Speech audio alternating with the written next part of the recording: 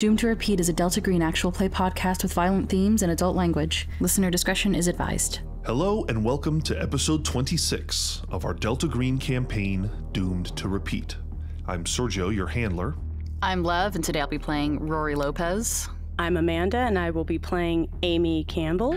I'm Caleb James Miller, and I'll be playing Agent Pilgrim. I'm Eli, and I'm playing Kona Hyde Morales. I'm Zakia, and I'll be playing Agent Ice. A big thank you to everyone who donated to our charity run for the community of Lahaina this month. We settled on donating all of the proceeds to the Maui Rapid Response Fund. We really enjoyed the process, so expect Mayday to host more charity focused content in the future. As promised in episode 22, our Mayday giveaway contest is back, and we're giving away even more prizes this round. Like last time, you can still enter to win a Perennial Airlines shirt or a limited print Mayday poster. But third place winners could win a collection of perennial stickers featuring the agents. Finally, fourth place gets a free month as a $5 or repeater level patron. You can submit an entry up to three times by doing any of the following write a review on Apple Podcasts or Spotify. You'll have to send us a screenshot so that we know it's you talk about the show on social media and at us at Mayday Roleplay. Or you can join our newsletter. The link to join can be found in the description below. Again, we'll need you to send a screenshot. We'll announce the winners on June 28th in the intro to episode 27. This episode, we begin the scenario Kali Ghati by Shane Ivey.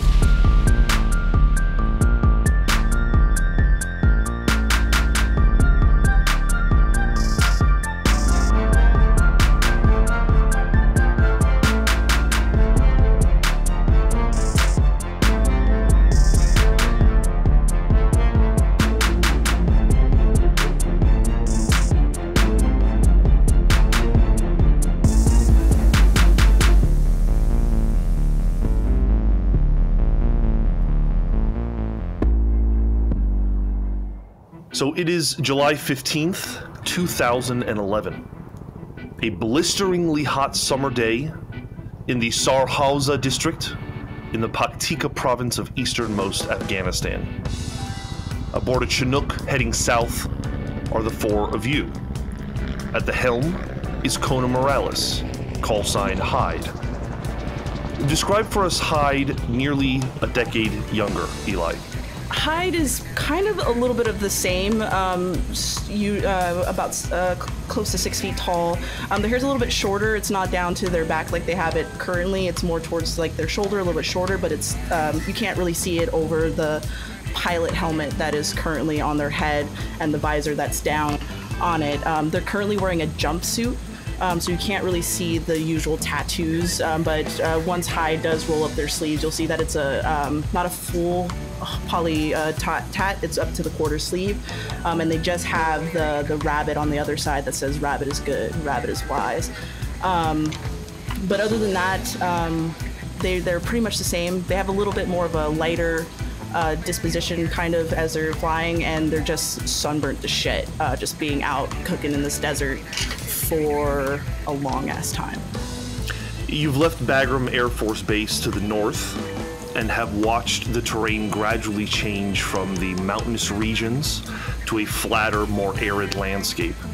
The Hindu Kush mountain range with its snow capped peaks passes you slowly to the east. At your side is your co pilot, Amy Campbell, call sign Soup.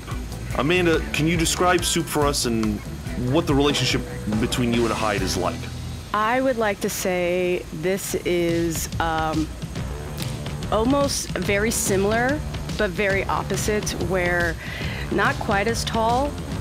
It's gonna a little bit, I would say, a, like a good three inches shorter. Still very tall, pretty well built. Dirty blonde, very short, choppy ponytail, little fringe coming out. Really embracing. Kind of think like Leo DiCaprio in 97 with that kind of like that bang coming off the side. Helen Hunt, 90s blondish. And uh, with that, it's kind of very much like Abbott and Costello. So they're kind of like rocking around, like kind of smirking. And uh, they're comfortable. They're very comfortable right next to uh. They're kind of just like doing, keeping it focused, kind of just zoning out. That kind of comfortable feeling when you're with good people. Your orders are to deliver two intelligence officers to a forward operating base known as FOB Turner. The approach to the FOB is a challenging one, with the helicopter navigating through narrow valleys and steep cliffsides. Hyde, you're taking point on this. You'll need to rely on your skills and experience to maneuver safely through the rugged terrain. Can you give me a pilot roll to see how smooth of a ride it is? Uh, that is a success with a 58. Amanda, you can see a look of determination in Hyde's eyes. This isn't just another routine mission for them. Um, whereas you can normally break them out of their stoic nature, they seem very focused. Very quickly, Sergio, uh, the immediate weather, again, what, can you describe that one more time?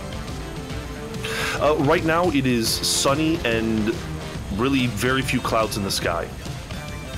You can feel the heat of the day in the helicopter. All right, everybody, thank you for riding with Hyde and Soups International Airlines. As you can tell, my pilot right here really knows the benefits of a great sunny day. Uh, co-pilot uh, Hyde, how you doing? I look over at Soups and just roll my eye and just keep keep focusing on what we're doing. I'm not interested in the banter. Did I ever tell you about the time I found a body in the basement? Not that again. Come on, and it's a great story. You in the back, you like it? You want to hear about the time I found a body? W- we creep into the back of the Chinook where where the cargo is kept and where people there are seats and there's basically just two people in here. Um, the two of you can hear over the loudspeaker the co-pilot soup uh, saying this stuff and, and kind of imploring you to interact with them. Yeah, I heard what you army fucks do with bodies. I, I don't want to hear the end of that sentence. Oh, look, Soups, we got ourselves a happy camper in the back. I was gonna say, sir, unless your idea is that's comedy, I would recommend sticking to the day job. And by the way, I love how his thoughts were doing that with the body. Yeah. That says a lot more about you than me, right? Yeah, I mean, it really would. You should have really heard the story first before you made definitive statements. But you know, whatever. If we could concentrate on flying the machine that is in the sky before we touch the ground, that would be fantastic. Ma'am, you are flying with two of the best pilots this side of the Kush, so just strap your little self in and enjoy the ride. Zach, would you describe your character and uh, their current opinions about Afghanistan? It's bad. and that that's for all the questions you asked me. But no, um, Lenita Morrison, or Len for short, is, I have in my description here, compact stud. They are very, um, very short, kind of lithe, but because they are, because of their profession, they have like the muscle that comes with work, not like vanity muscle. Very short haircut. I'm thinking like Shuri and Black Panther 2, if you need a quick image. They're sitting on the side with their arms folded, wanting this to be over. Flying isn't their favorite. It's not a bad thing, it's just so loud and so much. It is loud and it is a lot, but you can, um, thanks to Hyde's success on the earlier roll, you can tell that this is a competent pilot as they navigate through the lower terrain here. Um, Caleb, could you describe your character and well, what do they do to pass the time while they're waiting? He is playing with this like dollar store 7-Eleven Zippo lighter um, with uh, a very um, phallic imagery that has been carved into the side of it, uh, and he is just trying desperately to get it to light, and he can't seem to get any flame out of it. But he is maybe the least CIA-looking individual possible. Um, he has hair down to his shoulders in this long, straight, dirty blonde. A big mustache. He has this wiry, too thin for combat, almost weaselish form. Uh, taller than normal, but uh, skinny to the frame. But just like uh, like Let there, uh, he um, has that worked muscle in. Uh, he's wearing a baseball cap with a black cat uh, as iconography on the front of it. Um, and the thermal that he wears under the Kevlar vest that is protecting most of his body is uh, just enough to cover most of his tattoos, except for uh, a hamsa on one side of his wrists uh, and an evil eye on the other. Um, and he has just this. Uh, his eyes are never focused on one thing for too long. He is constantly bouncing about the cabin. He's bouncing about the Zippo. He's looking up towards the uh, the pilots. He's he's floating around the room constantly. Uh, You, you guys, uh, you fly these a lot. You, you guys are competent pilots. You've been doing this a while. What is this, Soup's tour two? Uh, you know what? I kind of. It's a little rocky after the third one. yeah, What do? I don't know. The you know one desert after the other after the other. They just you know every time we go back, they just send us right here. So yeah, let's just say that we've been here for like a minute. Yeah, they, they all kind of blend together. Well, the problem with being efficient is they bring it back quite a bit. Yeah. You prove to them once you can get something done, and God, they will pull every fucking bucket from that well, huh? Yeah. Have do you blink? Sometimes, yeah. If you ask real nice, I'll do anything for you. Hey, uh, what's the worst thing y'all have seen out here? You you done two tours. You must have seen something. What's gone on? What, what's the situation? I mean, we we don't come down here much. I mean, how long have you been out here? Because frankly, I don't like to kiss and tell. Oh, well, if you don't want to share, we don't got to share. We can shut up and sit. But I thought, you know, we can act like it's second grade and pull something out and tell the class. It doesn't have to be the worst thing, maybe just an interesting fact. Just for the sake of conversation. Uh, oh, I have an interesting fact actually about today, July 15th. Harry Potter, Deathly Hallows Part 2 comes out. Anyone gonna see it? No? I'm a little busy. I am. I'm not much into the wizard shit. I don't get it. I mean, you could just have easily have brought a nine millimeter and solved that whole story. If someone, if even one person had one, it would be maybe one book, maybe a short story. Oh no, I can't hear. Oh, can't hear you guys in the back who don't like Harry Potter. I'm flipping comms off. Tim, thank you. Soups is like doing that jerk off movement back and just like, sorry. Hi, they piss me off. They're annoying. I don't like them.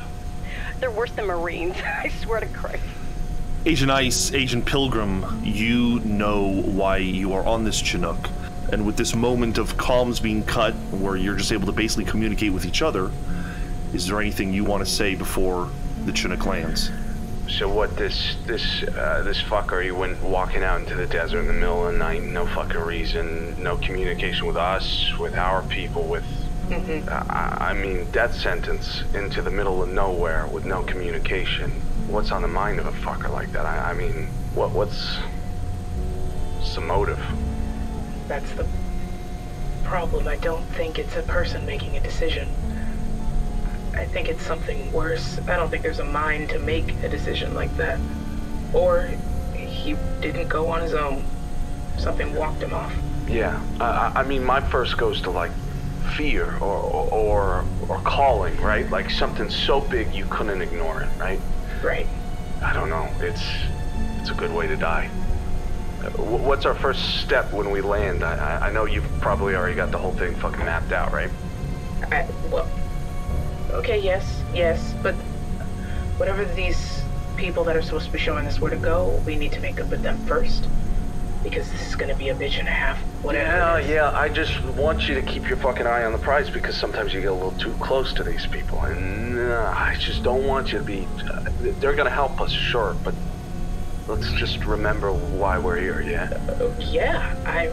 We're here to find somebody. Yeah, yeah, but you got this soft heart about you. You, you. you wear that shit on your sleeve, and I just want you to know that that's how you get fucking slit.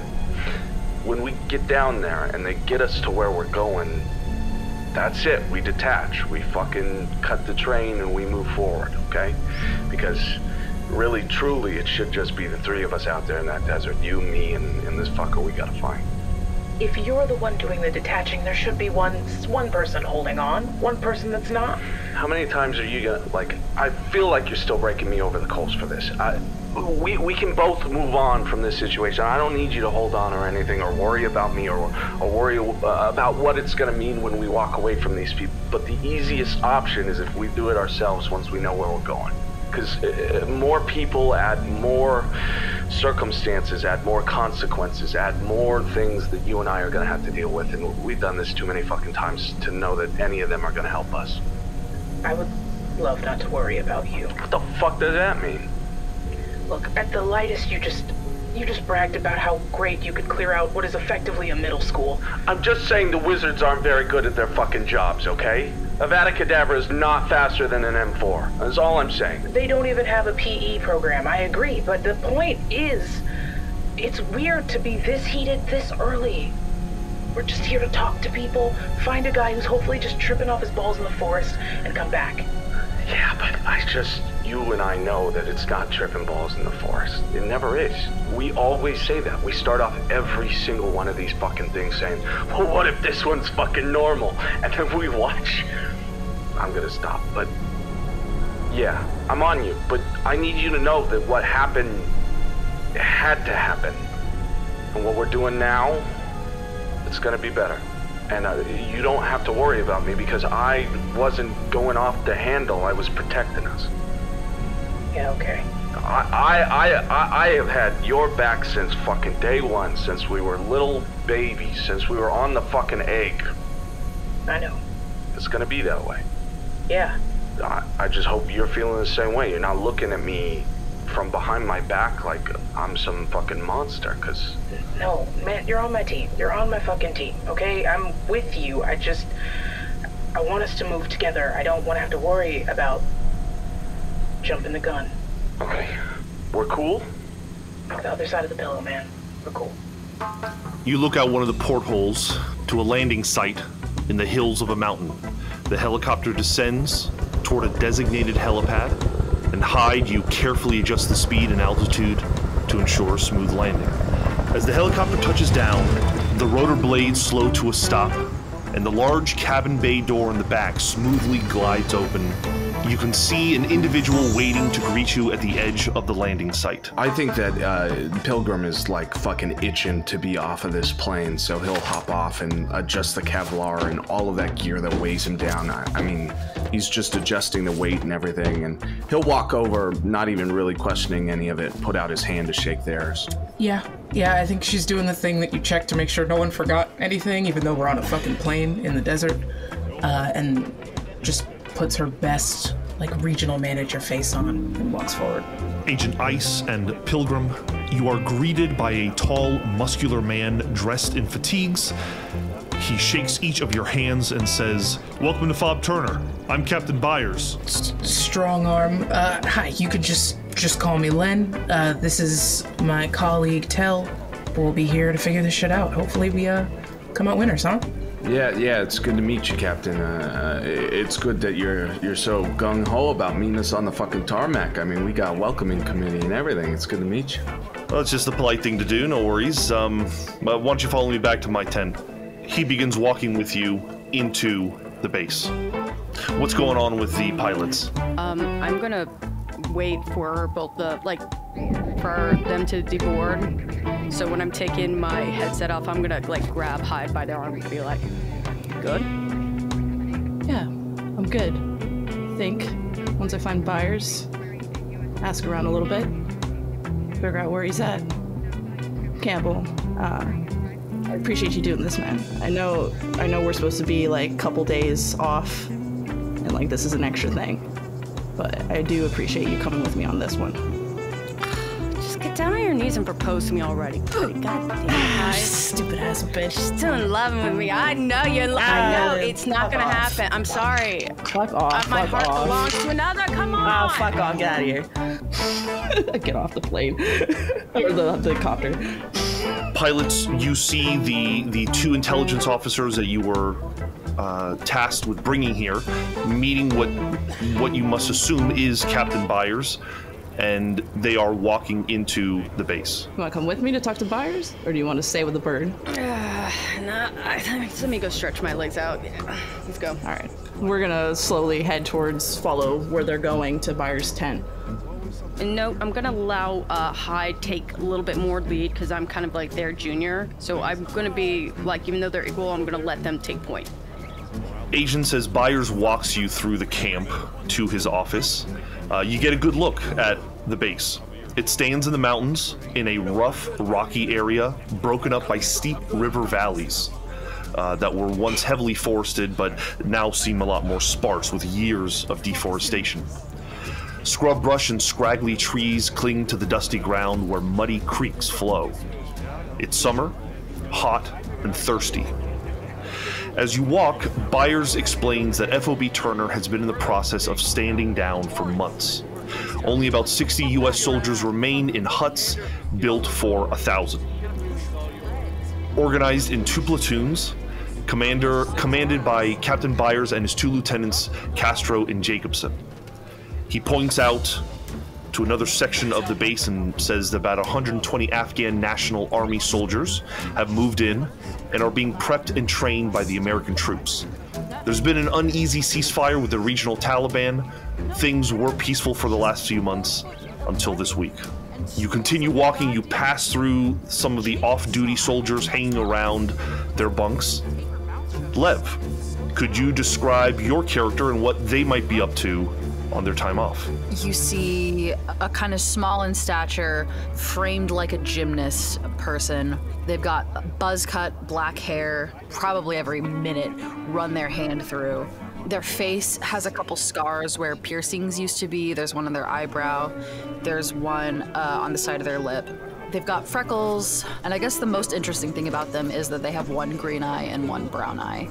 You see them tossing a football Oh, back and forth with another corporal. They're they're pretty low ranking. They've got their like army jacket tied around their waist, so they've just got the kind of tan brown shirt on top, their pants on the bottom, and they're try like they look like they're trying to throw the football beyond the other corporal and make him run as much as fucking possible while staying in one spot. They rarely exert themselves to catch the ball uh, when it's not in their wingspan kind of area. You, along with every other soldier in the area, pick up on these intelligence officers and the captain walking amongst your ranks, heading towards their office. Um, joining the captain is his lieutenant, Lieutenant Castro, uh, another well built Spanish man. It seems like Byers whispers something to Lieutenant Castro, who kind of breaks off from the agents, heads up to you, Lopez, and calls you off the field and to join him. Me? Come on, captain's orders. Yes, sir. I turn and I chuck the ball one last time as hard as possible, and I say, Ravel, you're not hauling ass enough, man. Come on. And slowly they pull a like a lollipop out of their pocket, like a dum dum, stick it in their mouth, and kind of slouch off behind uh, Castro, not definitely not trying to look the part of an army soldier, um, looking more like a moody teen than anything. I think Castro probably notices, and before entering the tent, he will stop you and kind of start brushing your shoulders back, putting your arms in place. Um, man, quit. It's fine. We're soldiers here, so act like it. Yes, sir. And they'll kind of brush their own shoulders off like they're trying to wipe away uh, the touch of Castro and crack their neck. Keep the sucker in their mouth, but kind of comport themselves physically, physically more like a soldier uh, and enter behind. You have all entered this tent. You were hoping for a little bit of relief from the extreme sun, and while you do get that, it is still as uh, uh, arid and hot in this tent, probably more so just because of the trapped moisture. Uh, but you are able to acclimate. Captain Byers' office is uh, basically made up of a desk, a couple of filing cabinets, a computer, pretty Spartan. He sits down, offers you seats. Lopez and Castro stand behind you, and the captain doesn't really beat around the bush. He kind of immediately gets into it. He understands why you're here, and he says, uh, "I appreciate you guys coming. Um, I have to be honest, there isn't a lot for me to offer you. We just don't really know much about what happened to Morales. Uh, he kept mostly to himself uh, while he was here. He's been here for a few months." Uh, but in those months, he became increasingly isolated, especially in the last few weeks. A few days ago, Lieutenant Castro here decided to check up on him because we had not heard from him, and we found his hut empty. Uh, Morales missing. He seemed to have cleaned cleaned it out and uh, left it pretty empty. Security footage shows Ellis pacing outside his hut one night, and then he was gone the next. Byers kind of finishes there and doesn't really have much more to say beyond that. So his bunks are empty. He was super weird a couple of days before. Do we have any word? Did he say anything? Do we have a search history? Anything at all? I think he may have had a computer, uh, but I don't have that on me right now. We haven't really tossed his room, to be honest with you, so if you wanted to look into that, that might be a good place to start. Um, we haven't touched it since we saw that he disappeared. Did he uh, did he work with anybody on base? I know that he was part of uh, a major intelligence, but uh, sometimes they'll use the resources around the base, right? Uh, Was there anybody he used in particular, or any place in Turner that he he uh, was familiar with? Well, like I said, he did kind of keep to himself, but uh, there were officers on base who he interacted with with one reason or another. I believe he spoke with um, our interpreter, a man named Yassim, who is uh, on site currently. Um, he traveled the area a little bit, and uh, for that reason, requested some a driver. So I sent uh, two officers with him, uh, one named Bryant and another named Booker. Okay. Yeah, we'll, we'll have to see if maybe he had a destination in mind, or maybe he was just touring the area. Uh, he he. You you said you had footage. Do you have footage of where he left in the direction of? Uh, where was he headed, if you can? Uh, yeah, yeah, and he signals to Castro, who kind of goes behind one of the shelves and brings out a small DVD player. They set the DVD player down and begin to play it, and what you see is a security camera kind of at an angle looking at a row of these tents, clearly the the uh, sleeping area. And sure enough, outside of one of these tents is a man that fits Liam Morales' description, pacing back and forth in front of his tent, smoking a cigarette. Repeatedly throughout the footage, there are moments of static. Uh, something breaks the feed, and Captain Byers preemptively explains that there is strange electromagnetic interference uh, all around this valley. Uh, so this is pretty par for the course. Sure enough, one of those bouts of static lasts for about 15 to 20 seconds, and when it dissipates, Morales is gone. So we don't even see him leave. I mean, we figure he probably jumped the fence, uh, and no one's really looking for folks leaving. They're people on patrol are looking for folks trying to get in. So We had a.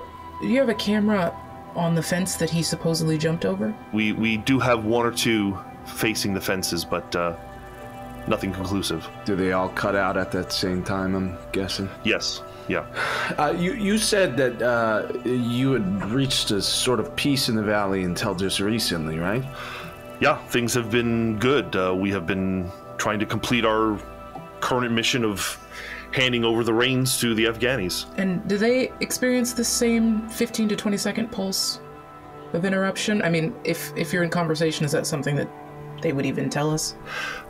Speaking with their leaders, yes, I believe they were and are aware of the strange static issues in this valley, but it seems to have always been the case, so um, they don't really pay it much mind.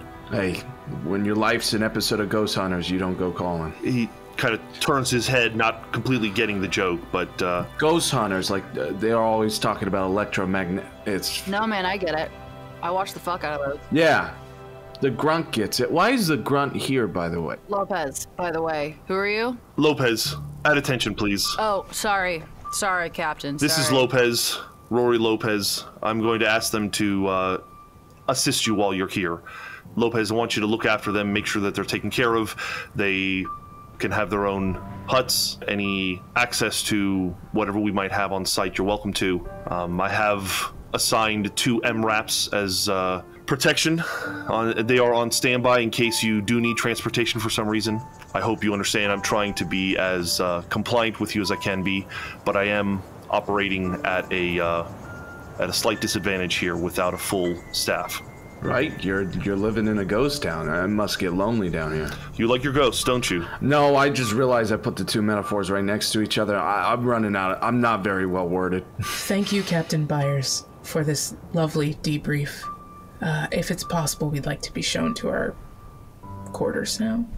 Of course, immediately uh, the lieutenant can show you. Uh, Lopez, stay behind. Aye, aye, Captain. Castro leads the two agents out of the tent. And Lopez, you can feel the familiar tension in the air when the captain is getting ready to ream you again. And he steps up to you, kind of sizing you up, and says, Lopez, I was kind of hoping that I could give you a little bit of responsibility without you fucking it up. Do you think you could do that? Yeah, man. I uh, never really had a chance so far, so uh, happy to stretch my leadership wings, as it were.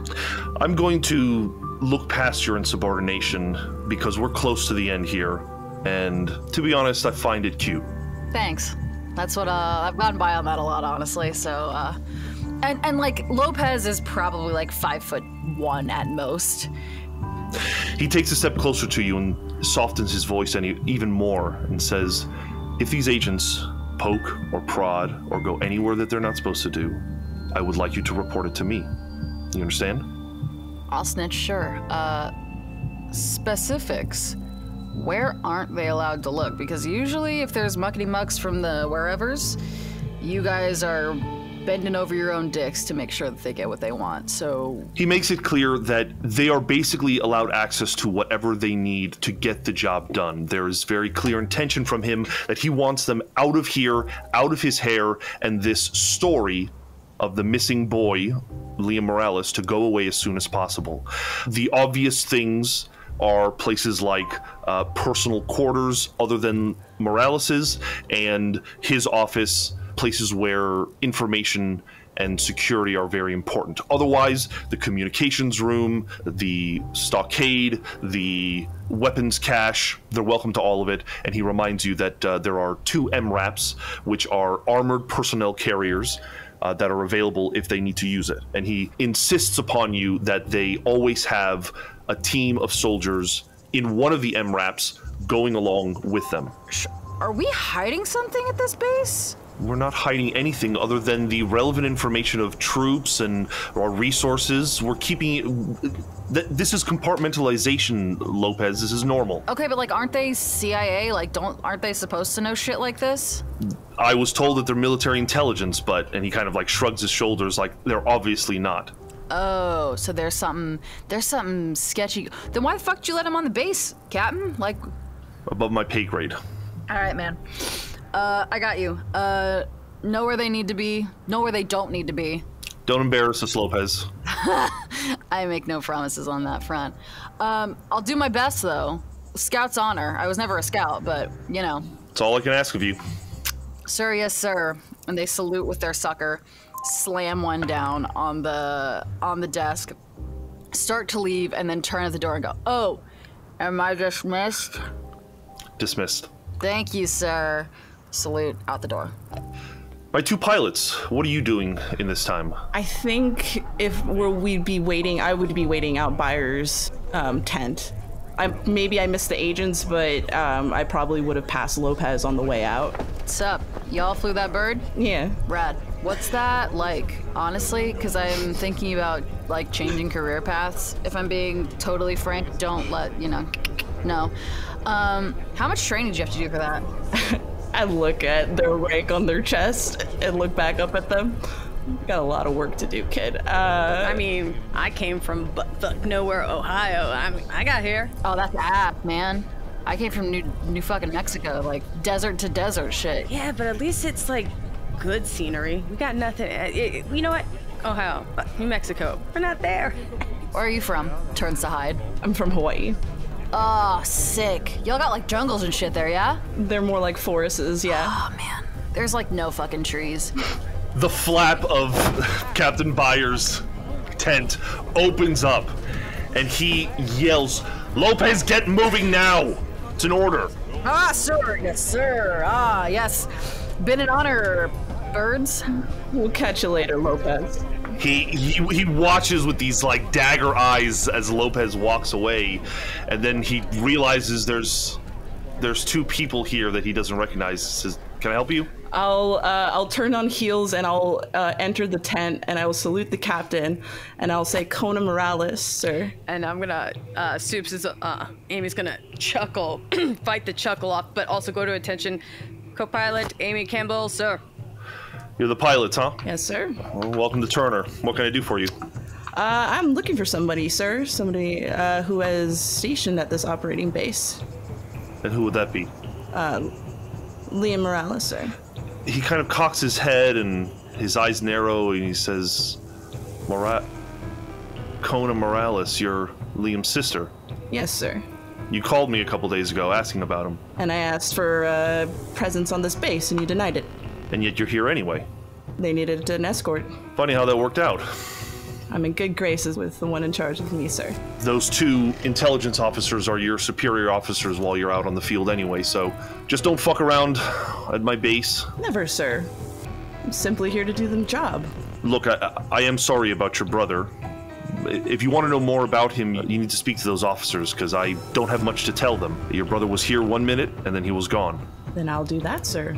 Morales, you are a pilot. I would just recommend that you leave this to those who are capable of doing the job of finding a missing person. Absolutely, sir. I'm here just to fly the plane and make sure those two officers stay alive. Is that all? That is all. You are dismissed. Give him the salute and I'll turn heels and I'll leave. Sir, I just want clarification. Permission to use mess halls, rec facilities. Of course, my base is your base, uh, officer, so make yourself at home. Just don't uh, embarrass yourself or the base, and you'll be fine. As long as you guys don't have that extra spicy chili, I'll be fine. Yeah, as you walk out, you notice you managed to put a smile on his face. So, and just turn, walk out. Um, I, What? so we're not going to talk about the world's worst acting performance from the captain about your brother.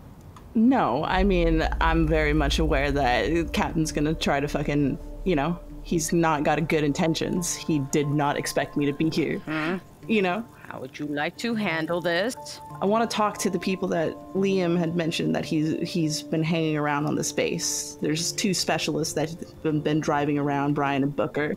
I gotta go find wherever the fuck his tent is. So I think the first thing we should do is just find Booker and Bryant. We could just try the mess hall first. Get her some. I'm relaxed. I'm fine. See, this is you getting hangry. You're getting hangry. You didn't eat, and I'm gonna have to deal with your whiny ass. So we're gonna tour around, go on the mess hall, stuff your face, shut up, and then we'll go ahead and then we'll just go swing by your. Mm-hmm. Let's go. All right, all right. The two of you know that going to the mess hall is a great way to speak with the other soldiers and kind of lay some groundwork to get the information that you need. While you are eating, you do learn that Bryant and Booker typically hang out together. They can probably be found amongst the MRAPs. So Specialist Bryant is the mechanic, and the two of them are usually hanging out uh, amongst the vehicles, so you can find them there. Agents, you are led by Lieutenant Castro to two empty bunks that are Spartan uh, in their setup with a cot and uh, some utilities like desks and chairs. And it is early in the day, probably before noon. Uh, how would you like to proceed? I'll, I'll catch Castro just before he leaves um, and, and ask him. Uh, could you do me a favor before you uh, leave us to it? Could, could you get me the personnel file on Lopez if they're going to be working with us? Uh, yeah, of course. Uh, in, in fact, I, they've already had it printed out for you. Here's Lopez, and here is uh, Morales, and he hands you two files that go basically over the details of uh, their stay here at Turner. Obviously, Morales is, is a little lighter. Lopez uh, appears to be a low-ranking soldier who has a couple of demerits. Responsibility has avoided them, whether by accident or by, by design. But they seem to be a competent soldier, just not a well-behaved one. Castro leaves, and around that time, Lopez appears by your bunks. Uh, Lopez announces themselves by crunching loudly on their uh, dum dum in their mouth and sticking the still uh, sticky stick. Oh, sticking the still sticky stick in their pocket. Military intelligence officers, suits in our midst. Hello, my name is Corporal Lopez. Uh, I'm here to assist you in any way that you need. When we take the MRAPs out, I'll gather some soldiers. Uh, I'm really here to just help with whatever y'all need, so I'm here. Yeah. Yeah, yeah, that's real good. That was a great intro. What flavor was that? Uh, it was one of those like mystery ones. I think it was pina colada, if I'm being honest. Shit, nah, it's usually banana if I'm being honest. Look, I like banana, if I'm being honest. Uh, we're saying if I'm being honest too many times. Uh, what was your name again? You were Tell, and you were who? You can just call me Len. Like like Len Goodman. Don't call me Lenny, but yes. Lopez, I get the feeling that y- us working together is a form of punishment for you. No, I was actually told that this was a responsibility and not to embarrass the fob, so. How do you think you're doing so far? Oh, fucking ass, man. I'm I'm not built for this shit. I'm honestly in the army for it doesn't matter why I'm in the fucking army. I'm trying to do my best, my guy, so Yeah, yeah. If you could just refrain from the my guy, uh, if you really do want to up that score, the my guy would would be the first to go for me. what's the best uh what's the best way to address you then, fella? The sir was real good, but really, if you could just stick to tell, which is again my name. Did you ever meet Liam? Um maybe like in passing. He was like he's a little weird. He like kept to himself. He didn't really like hang out in the mess or do anything. Like I'd see him he paced a lot and he seemed like he was like you know, he was like a cerebral dude, you know? Yeah, and I can tell how that might be shocking for you. Hey, that was almost an insult. Almost. I specialize in that. I like to run the middle line, so uh, if you blink too fast, you miss it. Uh, clearly, the guy was odd, but any, I don't know, creepy interests, spooky interests? Did he talk about things that weren't there? Did it seem like maybe he should go home a little quicker than somebody else? Serge, I like saw him in passing at most, yeah? Yeah, Agent Ice, you, you get the feeling that most of the soldiers here didn't seem to have much of a relationship with Morales. From what Captain Byers said, the way Lopez is describing what they knew about them, this man kept to himself, and the few names that Byers gave you are probably the easiest ways to get any information about Morales' personal life on this base. But yeah, no, he'd like hang around if I was watching Ghost Adventures, but then if I tried to like talk to him about fucking Zach Bagans or whatever, he'd be like, man, and then he'd peace out. Um, There are some ghost adventures. Zach Bagans is not on one. have you been on a Ghost Adventure, dude? No. Excuse me. I appreciate the team building that's happening in this room right now, but I would love to just get going. Yeah, let's uh, let's go toss the tent. Cool, yeah. Lopez will lead the way across the camp toward where Morales is. Uh, tent was. Um, on the way, they take another sucker out of their pocket, stick it in their cheek, and then kind of like gesture over their shoulder with two more as like kind of an offering to the other two. Haha, cute. Thanks. Uh, I will just take it. Pilgrim takes his and tosses it clean over his shoulder and then steps back to talk to, to Len.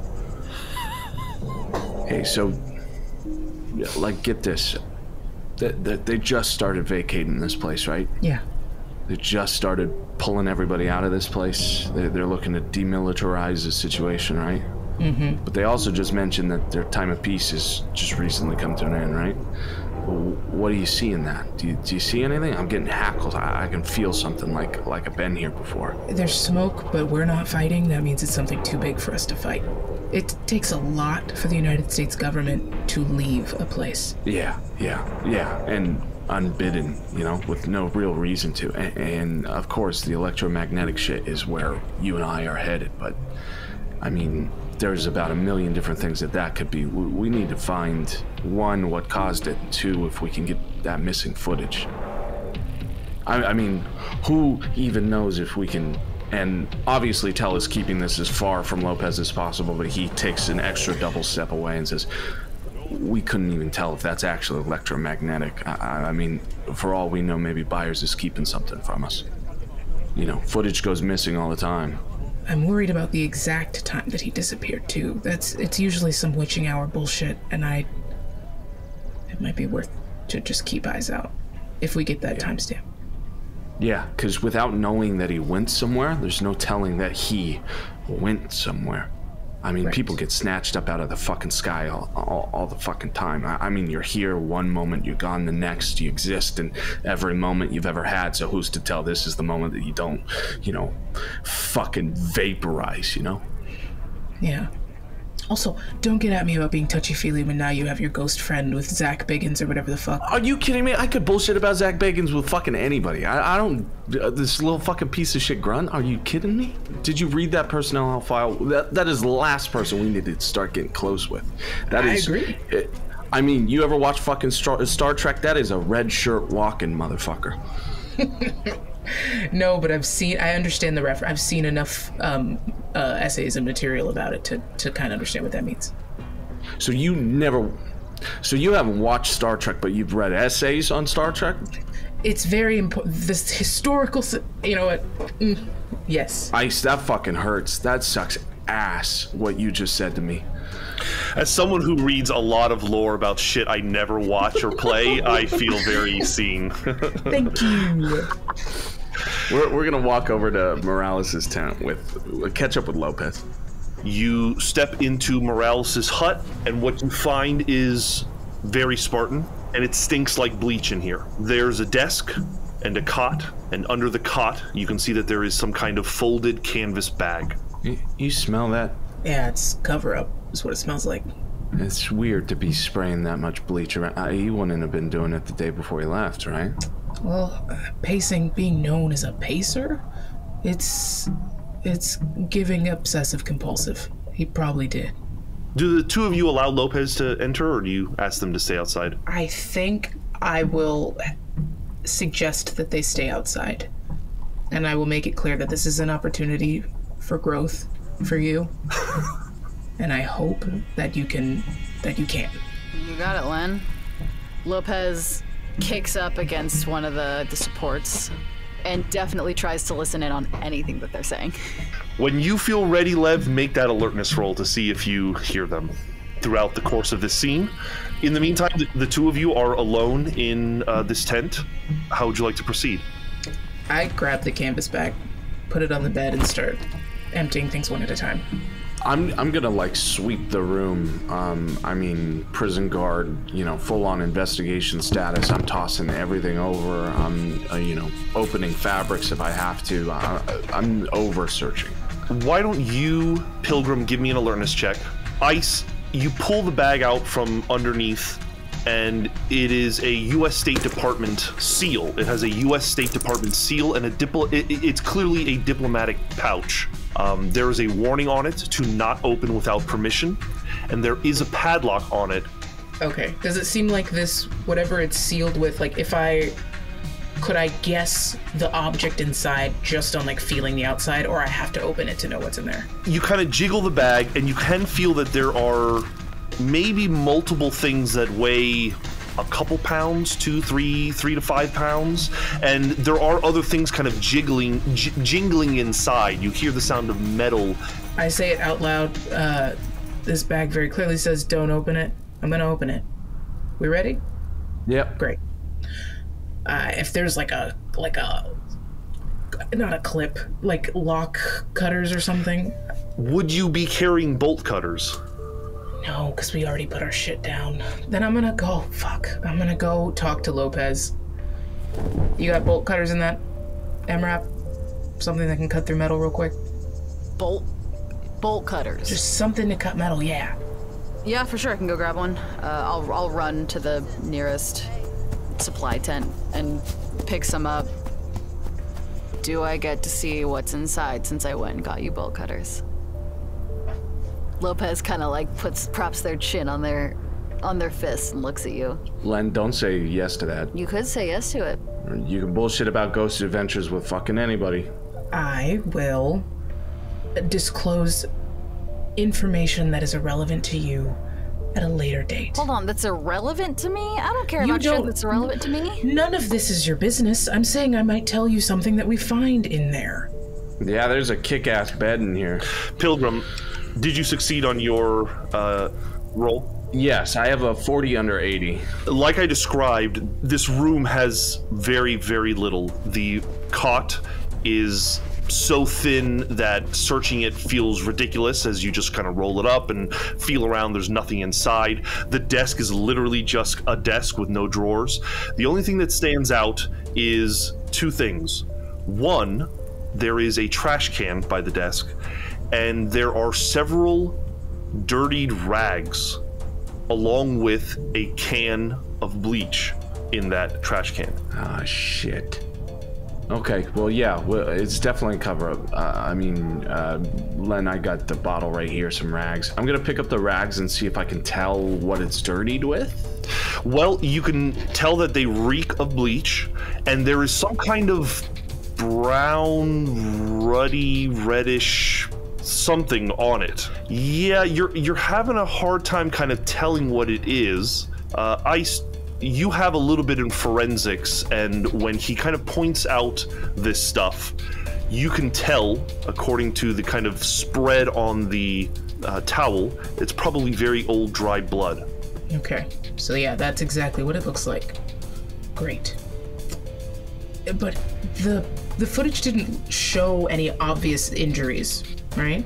no obvious injuries that were apparent in this kind of low quality footage, yes. But then, I mean, he goes missing during that little gasp, and anything can happen to him after that. Pilgrim, you're saying this and you're pointing out the rags, and you notice the second thing. In the center of the floor, uh, where maybe some of the dirt has been moved away, it looks like there's something on the ground. Not really an indentation, like, um, like someone was moving s- the, the ground around with their fingers. Uh, Len, get by the door, take your gun out, yeah? She's there. He moves to the center. He's gonna unstring his shotgun by the strap off one hand and then just keep it held uh, aloft in his right, and then very carefully peel back the fabric to get a look at whatever this is in the dirt uh, with his left hand. You look more closely here, and you can tell this is where the bleach was used. Something was rubbed out of the ground. And Agent Ice uh, has some forensics experience, more than you do, and you've seen them bust out the occasional UV light, that kind of thing. You call for it, they hand you the UV light, and you begin running it across the floor, and you can see the remains of old stained blood finger painted onto the ground. There are two phrases that are legible on the ground. The first one are two words Kali Ghati. The second phrase says, Death awakens the sleeper. Pilgrim starts like mimicking and, and mouthing out the words to that. And in fact, he even at first gives speech to it and then cuts him off immediately as he remembers what he's been through before and, and knows for a fact what these things can do if they're said. Um, and so he calls over Len with his free hand, his uh, shotgun still resting in the dirt, and he he uh, points it out. Well, that's the weird we were looking for. You, you, you speak enough of their language. Uh, does does this register for local? What is your score in the foreign language? Uh, 40. I think that's good enough. You have heard this term. Well, it's really not so much that you've heard this term. You know enough of the language to understand what these words probably imply. Kali Ghati basically translates to something like the Black Valley or Death Valley. There are probably many more iterations, but that is the the the main those are the main two words that come to mind when you read that. Black Valley. Death Valley. What the? That's not what this place is called, right? That's that's a different place. It's got to mean something, though, right? There, there's got to be more. I don't know. But they cleaned something up here. Whether it was, uh, I don't know what he was thinking. We should go talk with that interpreter, see what we can find out about Yeah. this phrase, what it means. And 'Cause, I mean, finger paint in your own blood, that's that's days of work. You can't just do that. Reminds me, we don't know if it's his. Uh, you think you could take a sample? Maybe we could find someone. Uh, I mean, it'll be a while before the lab gets anything back to us, but at least then we'd have some proof. Yeah, I'm gonna take one of the the rags, and if there's like dirt that's specifically like worth collecting or super stained, I'll take both of those. Yeah, I, I would say that the rags of bleach have probably destroyed any DNA that is useful. So I will say that you can probably find a little bit of dried blood left on the ground, and you take a sample of that. Ice, uh, you've received the uh, bolt cutter, and you are reminded of the bag. You go through the process of cracking open one side of the lock, and you are able to easily remove it. I think I just start emptying things one at a time on the bed. But I put on gloves. I should say that. Uh, what you find inside are a few cast off gun cleaning supplies. You find 18 used 9mm shells. You pull out the wreckage of a laptop computer. It is clear that bullets have been shot through the computer several times. There is a small mountain of empty mouthwash bottles. And finally, you pull out a half burnt journal. You immediately open the journal up, and you can tell that it is written in some kind of cipher or code that was probably personal to Morales. Ice turns around to Pilgrim, holding the journal with the open cipher. It's a puzzle one. Oh, fuck. Not again. We're gonna be here for weeks. Hell yeah, hell yeah! I need some place that's, I need, I need some place to work. We got to talk to the interpreter, but this is, this is gonna be a night. Yeah, it's gonna be a night. Let's cut away to the pilots. Pilots, you've had your meal and you have gotten the information you needed about where Bryant and Booker are, and you head over. Sure enough, there are Humvees and MRAPs and uh, other vehicles that are used in the, for the area, and hunched over an engine block is a short, skinny man who is kind of perpetually got a grin on his face. As soon as you enter the room, he kind of looks to see whether he needs to salute you, doesn't see that there's a need, and kind of gives you a, uh, a chin up and kind of goes back to his work. Standing across, or rather sitting across, reading a Playboy magazine, is a very brawny man who you can assume is probably Booker. You Booker, you Bryant? Who's asking? I'm asking. Yeah, I'm Booker. That's Bryant, uh, the man holding the Playboy says and points to Bryant, and Bryant kind of hops off of the, the vehicle and you know gives you gives you a hello. As they both talk, you can tell that they are probably from the Philadelphia area. They have a little bit of an accent, and um, at least one of them seems like a real city boy. You all know Liam Morales, yeah? They both kind of roll their eyes like not again. What was what's with the eye rolls? What's, What's going? that? What's that about? Uh, what we just we, we don't want to get involved in whatever the hell Liam has gotten himself involved in. Like you got to the man walks out into the desert and what? Now suddenly he's my responsibility? I mean, if you're responsible for him. Well, I'm not. I was just his I was just his driver. Hold on. Let's take it down a notch. Hyde. I'm, you call me Soups. Call this one Hyde. That's a nice issue you have right there. It's all right. See, we can. We good. We apologize. We just needed clarification because we're stuck bringing these people back and forth in bases, and we just thought we'd just ask around some questions. That was it. Are you guys the intelligence officers? Do we look like intelligence, my guy? No, you look like pilots. Damn fucking right. Oh my god, you scared me. Shit, mother. Jesus, That. no. What do you want to know about Liam? Liam's my brother. Oh shit. Yeah. So just keep this between us. I'm just looking out for my brother. Booker, who was like kind of back leaning against the wall, not really interested in, in getting himself involved in another person looking for Liam, closes the book and kind of leans forward and, you know, the, the gossip is, is like gold here in the fob, so he's uh, certainly intrigued by what you just said. Look, I'm not trying to stir any trouble, and I don't mean to make it your problem, but I lost contact with my brother a couple days ago. I just want to make sure he's good. And obviously, it doesn't seem like he is. Um, it took a hell of a lot of, of way to get me here just to come and- and look him in person. Can you help me out, Elise, man? I just want to know what's been up lately. Bryant looks back at Booker and they kind of look at each other and Booker says, Hey man, I'm sorry. I, I didn't know he was your brother. I, It's all good.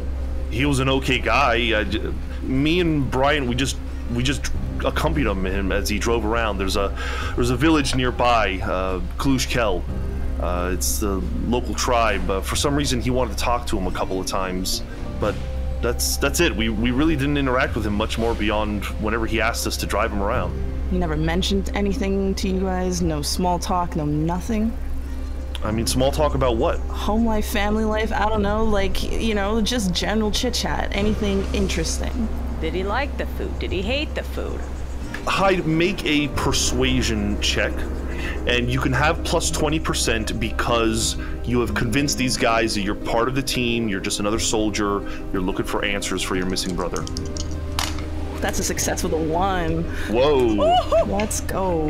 This is OG Hyde. These boys are hesitant, and you're thinking about it, and you realize that everyone on this base is hesitant because your brother was not part of this fob, at least not in the way that all the soldiers are. Everyone here is scared to become responsible for someone who has done something ridiculous like wander off into the desert. So you realize this hesitance is coming from people who don't want the blame to fall on them. But Booker and Bryant start admitting that yeah, they they took your brother out on a couple of trips and in that process came to know him a little bit. And they admit that once or twice Liam mentioned things about what's going on at home, trouble with his wife and his and his child who are estranged from him. Seemed like he was really worried about that stuff, but he also seemed really focused on his work. Yeah, he came off as a little agitated and the two of them tried to make him laugh once in a while to brighten the mood. He ever talk about what he was doing out there at that village? Who he was talking to? They seem to push back again, a wall coming up. Um, again, there's this fear that they're going to get in trouble. Hey man, I'm not here to point blame or anything, man. I'm gonna. I'll do this. I'm gonna do this. If it makes it better, would you guys like me to step away? And I'm not hearing anything. Would that make you feel comfortable? Look, I feel for you. Can you just. Can we keep this between just us? Always. Morales. He started. He snuck some contraband onto uh, base, some some little bottles of alcohol. We enjoyed it with him once or once in a while. We drank a little bit, okay, uh, and that's a big no-no. So you can understand why we're a little nervous. Sure. And once or twice he got a little too drunk, probably. And I don't know. He he talked about this place. What what was it called? And Booker speaks up and what do you say? The the Black Valley. And it reminds Bryant Kali Ghati. He said there was this place. Um, old Afghan and, and British writers said it was I don't know some some place hidden in the mountains to the east. But doing his research, he couldn't find anything on the maps. And I don't know. He was saying that all the experts thought it was a myth, but apparently he believed that it lied under Vargita Mountain to the east. Uh, it's like 40 kilometers north of uh, of Turner. But there's nothing really out there. there. There's no way there's something like that really out there. The, the Taliban would have destroyed it or taken it over by now. So I don't know. We we kind we mostly disregarded his drunk ramblings. How was he the last time you saw him? Pretty fucked up, if I could be honest. He was drinking almost every day at that point. I don't know. He just he kept going on and on about wanting to find this place, wanting to find this Kali Ghati. Uh, I mean, at, at, first he was saying he wanted to drone strike it and and take it out into oblivion, but before he left, before the end, he was he was saying that there were old stories about how people at Kali Ghati find peace and live forever. I don't know. I, I, think he just wanted to see the truth for his, himself, you know. I appreciate it, and this is gonna stay between us. Um, do you know where Liam bunked here? I don't know where he he was. His tent. Yeah, we, we escorted him a couple times, and they they point out to you where you can find his tent. Before we leave, uh, I'm going to pull out like a couple of cigarettes from my pocket. I'm gonna hand it out to the two guys, see if they be like, thanks, guys. Do either of you have a human intelligence? I do. You hand them the cigarettes. They say thank you. They light them up. Uh, Hyde, you can tell that um, there's still something that they're holding back. I'm gonna be on base until tomorrow or something, whenever these intelligent officers want to ship out to wherever they're going. If you think of anything, yeah, please uh, let me know. All right? Because think about it, it would be like a dickish move to leave someone's family who's literally going all this way to, you know, find a brother. Hi, you can give me one more persuade roll. Uh, you will have plus 20 because you're a woman. And that seems to have an effect on these gentlemen. That's a five. Nice. You're rolling well today. I'm rolling very well today. I wouldn't. I don't know if that's a good thing. Maybe I put on the waterwork. This moment that you share between them, you kind of come closer and you look them in the eyes, and whether you mean to or not, you cause them to kind of soften the way a man does when a attractive woman is asking for help. Booker speaks up and he says, um, Look, there is one last thing. He talked about dreams. He said that he would just have these reoccurring dreams of sounds that weren't sounds, like voices that weren't voices. I don't think it really means anything. Uh, clearly, he was probably cracking up at that point, but I don't know. It just stood out to me. It was a, it was strange because he said he had them a couple of times, like regularly. Okay. Do you know what he said? What the voices said to him? He said he could never understand them, but just that somebody was talking to him. Okay. Thank you. Yeah, we'll see you around the base. Have a good one night, guys. Head out. Uh, you know where uh, Morales' uh, tent is if you want to head in that direction. yeah, I'll start heading that way. I'm gonna catch up, and I want to make sure by the time we're far, a little bit further away from the guys, I'm just gonna. It's like all you had to do was show them a little tear, and they fucking folded. Well, when you're stuck out of here in the fucking nowhere, I mean, Bat and I can get a mile. Hate doing that shit, but fuck. What does that mean, though, man? Like he's talking in voices. This doesn't sound like Liam.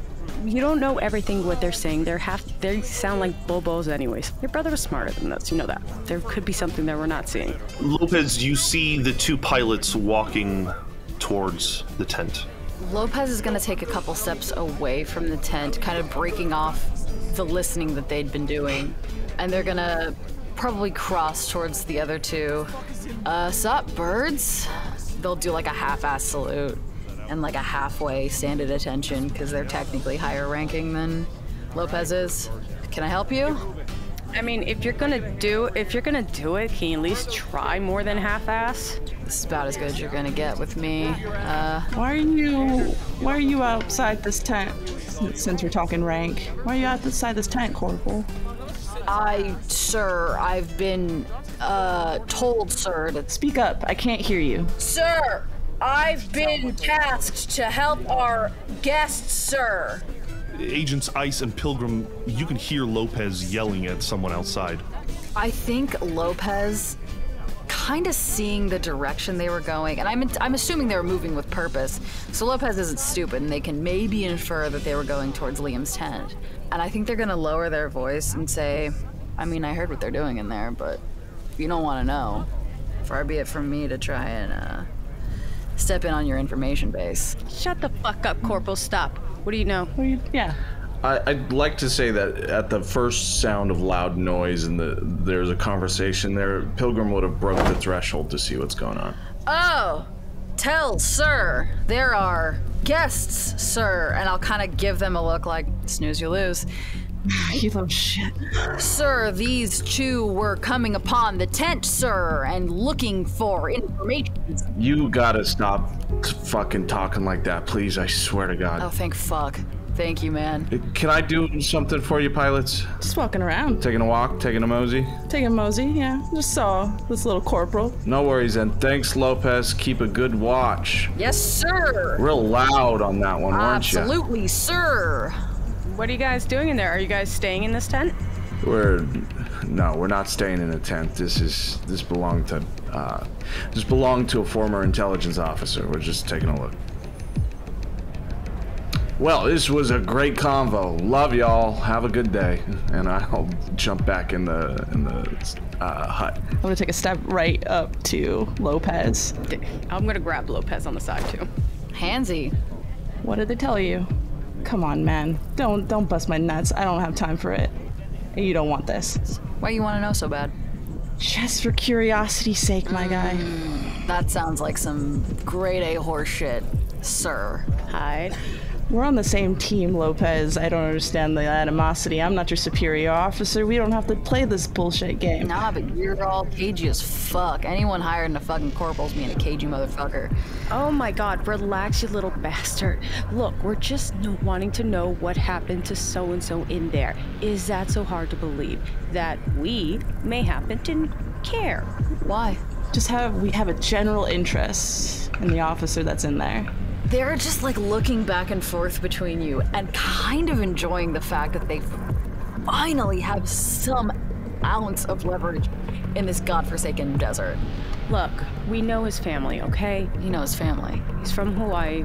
On he's from Hawaii, I look to Hyde. Would I see any familial resemblance there, Serge? I don't. Th- I, I- I think to corroborate with your story of really not interacting with Morales very much, I don't think you would necessarily be able to immediately draw that conclusion. But Do they have their name on their jumpsuit? oh, probably. I would imagine Morales is probably uh, printed on the jumpsuit. I think on that I see on the they're from Hawaii. I kind of flick my eyes over to over to Kona, and then down at the the nameplate, and they kind of freeze and kind of size you up, and nod slowly. Yeah, family. All right. Good, you put two and two together? Yeah, you got yeah, there? y'all are not cryptic at fucking all. I'm trying to keep this down low. I don't need these two assholes. I don't know who they are and stuff like that, but I don't need bureaucracy up my ass either, mm. okay? That I fucking respect, actually. Cool. I'm glad we're on the same page about the bullshit. Please tell me, yeah, please tell me what the fuck they've been looking in there or what they've been saying. I'm gonna kind of glance over my shoulder and make sure the other two are safely within the flap, and then kind of push, or not push, but like walk forward enough that they follow me uh, to where what I would assume is out of earshot. I didn't see what the fuck was going on in there, but uh, they said something's a cover up. They said it smelled smelled weird. The words Kali Ghati, and then death awakens something. I couldn't hear the end of it. Last thing I could catch though was finger painting in your own blood. So I don't know what the fuck your family was into, but it's uh it's not sounding great. Sorry. Genuinely, that was genuine sorry. When you said it smelled weird, what did it? What kind of weird? There's there's many there's many different weird smells. Well, they sm- said it smelled weird, and I caught a whiff of uh, bleach when it came. The wind came whistling through, so if they're talking about finger plating in your own blood, it's not a hard jump from point A to point B. That's all I know, I swear. I I respect doing shit for family, so, you know. I'm going to kind of look at Hyde and be like, good news is that's those smells are uh, that, that's at least you would rather have bleach than other smells, Hyde. So at least we know he's at least live. Sounds like they're covering up something. They did say it was a, they literally said it was a cover up, so, like, yeah, for sure. What's your exact detail on these two? Like, what are you supposed to be doing for them? I'm supposed to take them wherever the fuck they need to go, get them whatever the fuck they need. Uh, if we take one of the MRAPs out, keep them safe, but don't let them poke their nose into too much. If I can find you later, you keep an ear out for me? Yeah, I, uh, I'll give him my tent and uh, which bunk is mine or whatever. Wherever they go, you tell me what they're talking about. I'll keep an ear out. Look, my respect for you doing this for family only goes so far. I'm not gonna fucking die for your, your whatever, but I'm not asking you to, Lopez. I'm not asking you to jump on a grenade for me. I'm asking you to keep your ears open. Can you do that? I'm just setting expectations here. Y'all flew in today. Hold on. Uh, no, Lopez, I thank you. Respect. Thank you for letting us know. Now I'm going to extend my hand out to shake theirs. I think this is the first time that Lopez, in in a long time, has been shown like a modicum of humanity from another superior. So they'll take it and like shake it, like it, like a like a true, you know, person for a minute. Yeah, I, I'll I'll keep an ear out, but I'm I'm not promising anything. Appreciate it. I really do. Take care. If they're there, we'll probably try to come back later. As as they're walking away, uh, Lopez starts backing towards the the flap of the tent, and says, "Yes, sir, sirs, I will do my duty at the fob to these. Now you're just doing it for you. You're doing it for you at this point. This is exclusively for you. Sorry, sir, can't hear you through the canvas, sir. No, you can't? Huh? Agents, what do you want to do now that you feel like you've thoroughly tossed this space? It's now about uh, it's, a, it's a little a little about an hour after noon, otherwise known as 1 p.m. The the cipher notebook and the laptop, I want to make sure they're in a bag to where they cannot be seen as I'm walking around with them. Yeah, I mean you have that that uh, that bag that was found in the the hut if you want to take that. Yeah, is there a way to hide all of that? Like, I want to put this bag in my bag. Yeah, I'll say that you have yeah your your backpack you're able to store it in there. Yeah. Okay, cool. Um, then yeah, I think next is the interpreter. Yeah. Yeah, yeah, that's what I was thinking. Before we go, I'll leave the tent and uh, touch Lopez on the shoulder.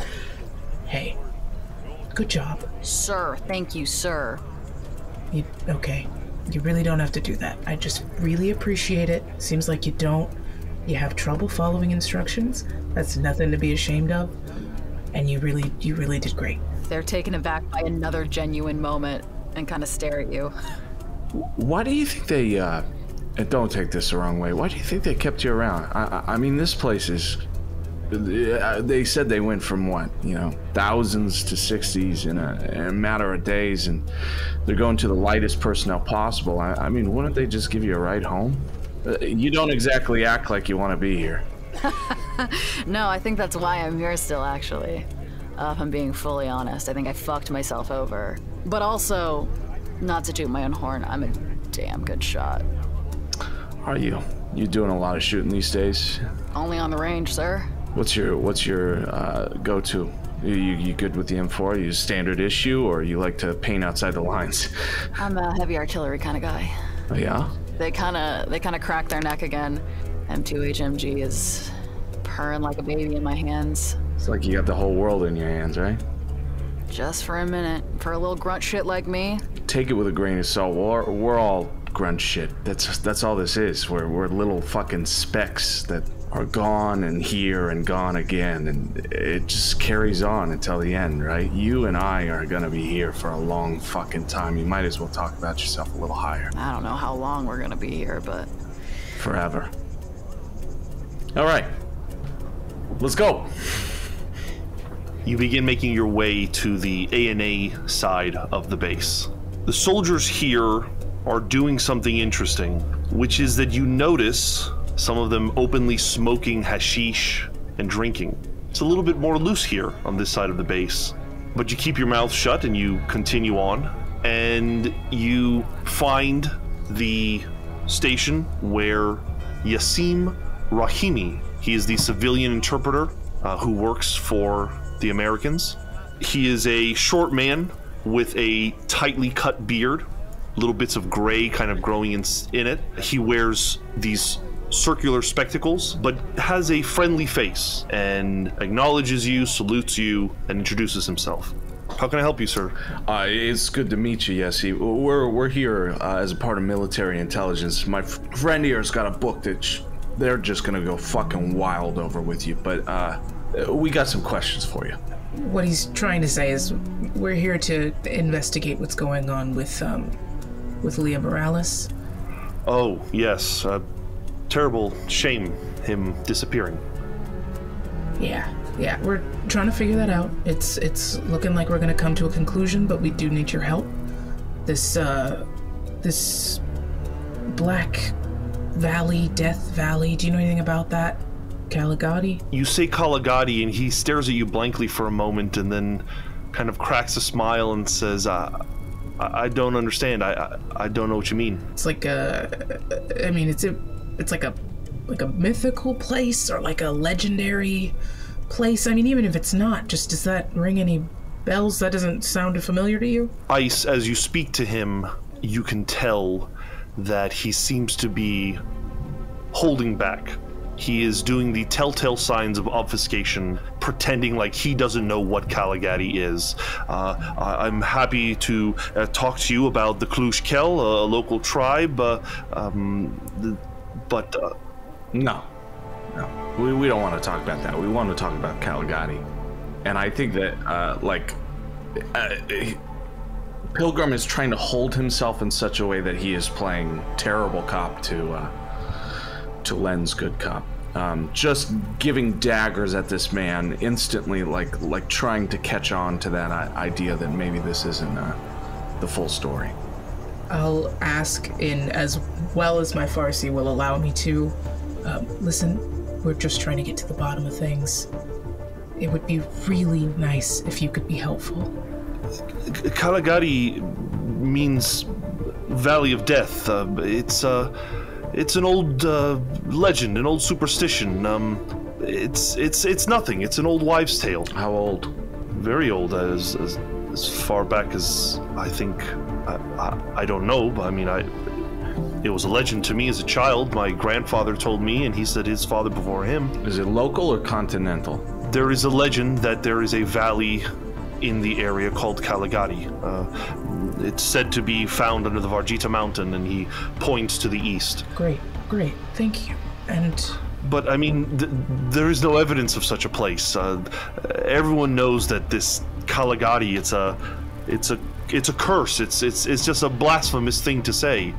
Uh, people who, who go out to seek it are, are doomed. Yeah, what's the story there? there there's got to be a myth, right? Why, why would you go seeking it in the first place? Kali Ghati is a cursed place, but there is meant to be a a guru there who can show the path to enlightenment. You see, uh, many of the tribes here, uh, some of them before converting to Islam, worshipped pagan gods. There was uh, some tribes who never left those pagan beliefs. Uh, this this dates back before Islam, before modern religion came to this place. does does this guru have a name? I've only ever heard the guru. I wonder what they teach. I wonder what you can learn out there in the desert, huh? You also notice that it is a little strange that Rahimi is kind of so apprehensive. Uh, for the most part, he does not appear to be a particularly religious man. He seems to be more of a man of science, more of a modern uh, uh, uh, kind of person compared to uh, some of the other uh, Afghanis here who seem to live simpler lives. This man seems to be educated, and so it is a little strange that he still is so apprehensive. You ever uh, speak to Liam directly? He ever come to you with similar questions, similar uh, intentions to see something that you could help him with? Um, yes, uh, Mr. Morales knows that I am fluent in a, a local dialect that he was not, so he came for me for lessons. He asked me certain questions, uh, certain phrases. When I offered my services to join him in his trips uh, out to Cluj Kel, uh, he refused. He said he just wanted just to, to better his ability to speak the local language. So I never really ventured out with him. I just sort of taught him what I knew, uh, answered his questions. Did he ever do anything? Did you ever see anything to make you worried about what he did on these trips? We know he kept to himself, he was a little odd, but anything that stuck out? I think you are pointing out the obvious. Yes, um, Officer Morales was. Uh, I don't believe he was in a good place. Uh, he seemed to be hurting, maybe distracted. I'm, I'm not sure. Um, he seemed odd, but he didn't seem. I don't know. I, I, I find often many of the customs of the Americans here to be a little strange. So He ever offer you any Listerine? you two knock back some mouthwash together if, after some lonely nights. uh, what is Listerine? Uh, uh, the, the fucking um, mouthwash, mouthwash. Uh, Oh, um, he ever uh, drink with you? No, no, I, I- I didn't know him that well. He he came to me for a few lessons, but otherwise he mostly kept to himself. So no, he did not. Now, y- you said he didn't do anything out of the ordinary, but you seem on the edge about this whole thing. It's a. You said it was a, a legend, a myth. What's. Why are you scared right now? Forgive me. I, you have to understand that I'm trying to do my best here, and I'm trying to um, put my best foot forward here at the FOB. I want the Americans to feel ready to leave as soon as possible. Um, my nervousness comes from I'm easily scared. That's all. I um, I have learned in my life that it is best not to tread where people tell you not to go. Yeah. He's clearly visibly kind of uh, uncomfortable by, by that laugh.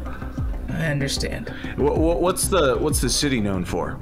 Uh, he, he kept making trips out to this village. What do you think an American would want out of there? I I mean, that's not necessarily a place you're not supposed to go, but definitely it's something out of the ordinary, right? Uh, What what do you think he might go out there for? The Cluj clan are familiar with the area. Um, maybe he was asking them about the myth. Maybe he was trying to find out more information about where Kali Ghati could be. Yeah. They're friendly people. If you want to speak to them, I'm happy to join you as an interpreter. I, I don't know. I, don't, I mean, Len can speak pretty well. I mean, Len, do we? I, I don't know that we need another translator, do we? If it's the local dialect, we might need the help. Listen, Rahimi, was it? Yes. I understand that you're nervous.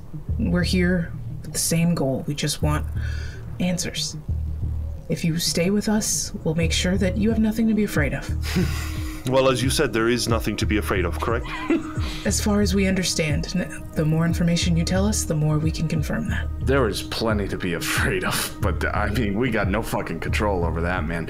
If you're asking if we're capable, that's 100%. I agree with you, officer, that there is a lot to be afraid of in this area, but um, I feel bad for Morales. Uh, although he seemed to be hurting, he was f- kind to me, and I, I, I would be happy to help uh, if I can. That's kind of you. Yeah, we're, we're gonna take a visit to that place. Uh, I don't know when, but soon. We'll catch you up and you can come with us. That's as far as you'll go, okay? We'll go there, we'll have a conversation, you'll come back here. It ends there, yeah? I appreciate that very much, yes. Okay. Th- thank you for your cooperation, by the way. I, I'm so glad this didn't have to go any other way. I am too. Uh, goodbye, officers. Nice to meet you. We walk outside. Well, fuck, Len. What? Why was that a problem? He has to come. He's the interpreter. No, no, I get it, but he's not going anywhere farther than the city. We need to stop. We're not doing the ragtag thing. We're not putting together the fucking A team, okay? It's it's a hazard to have the the smaller the amount of people on missions like these. I don't know. I, I don't know. I, it's just it's nice to have others around sometimes. I mean, yeah, we work we work together well, right? But another voice in the room. Well, it used to be just us. We, we did fine on our own in those first few years. I, I mean, yeah, it was hard, but we were fine. There were no walls. I'm just I just it's good to mix it up a little bit. Get a different perspective. Sure. Do you want to go to the city tonight, or do you want to work on that cipher? I really want to work on this cipher. Okay, so maybe we post up in the mess hall or something. Actually, what the fuck am I saying? We go back to our tent. Yeah, although food does sound good. I, I can make a trip. Or, if, better yet, we'll send our fucking lackey. You're right. You're right about that. Keeping them busy would be a good idea. It's better than doing anything else with them. Fine. They'll get food. Puzzle night. Lopez has been posted up with the the folks from the other side of the fob. Um, not not partaking in anything, but watching with like a hunger. You know that you have two possible ways to find out more about what Morales was up to. There is the notebook, and there is his laptop. The laptop is obviously destroyed, but you are aware that there is a team on the base that might be able to help uh, extract any possible information from the laptop if you two don't feel like you have the resources to do so yourselves. I don't know, Len. How are you doing in the computers category? I'm decent, but this thing has more holes in it. More holes in it than I think I can work around. So, again, different perspective. Yeah, I'm just worried about putting more hands on this fucking thing. Just one more set of hands. So, so maybe you stay with the cipher. I'll go with the computer geeks, and I'll stand over their shoulder, make sure they're not putting files where they shouldn't, and fucking refreshing the USBs when they shouldn't. Exactly. That'll work. It's about 3 p.m., and the two of you decide to split off and see what you can find from this information. Agent Ice, how much time do you want to dedicate to this notebook? You said it's just about three. I think she she's probably willing to go until like a late dinner, like eight, potentially up to six hours. Yeah. Agent Pilgrim, you take the destroyed laptop over to a communications hut. And there is a man named Sergeant Sams who is kind of in the middle of rewiring some microelectronics, and looks up with you with uh, with those expanded goggles on his on his eyes, and he, he immediately lifts it up, asks how he can help you. Oh man, you look so much like the Goonies right now. I love it. I got a question for you. I, I, I got something I got to give you. I'm with the military intelligence team that just dropped down, yeah? Um, but I'm absolute shit when it comes to anything after Microsoft 7. Um, so if I could just give you this laptop, we need you to run a full trace, whatever you can do to bring any information off of it. But it's really, really important to our. Um, none of this can be disclosed, and I'm going to stand around and make sure that that comes to a head if you can help us. Yeah, yeah, yeah. Look for stuff, but don't uh, read anything. I, I, I'm familiar with this operation. Um, he takes the laptop from you and looks at it. He's like, God damn. Uh, well, I mean, does look like the hard drive is still intact, so I should be able to. Yeah, you, you got any guesses at what happened to this fucking thing? If you had to make an educated guess, I, I mean, He holds up the holes and like looks through one of them at you, and he's like, uh, I think somebody shot this. Yeah, yeah, I was thinking the same thing. Okay. Uh, I, I can totally start working on this for you, sir, but it, it's going to take me a little while. Probably, I mean, I probably won't have it ready till tomorrow morning. You know what? Uh, yeah, that's fine by me. Uh, wh- what do you like to eat? Uh, uh, you like anything from the mess hall specifically? I mean, they don't really do special order, but If they got any Fruit Loops left over, I'll take some. holy shit, Fruit Loops. I mean, not the best cereal, but very good. I like Captain Crunch. I like the fact that it makes my teeth bleed. I, I like Fruit Loops. This is excellent conversation we're having right here. This is just, this is what it's all about, huh? I'm going to get to uh, working on the laptop for you. Good. Fuck yeah. Yeah, good, good.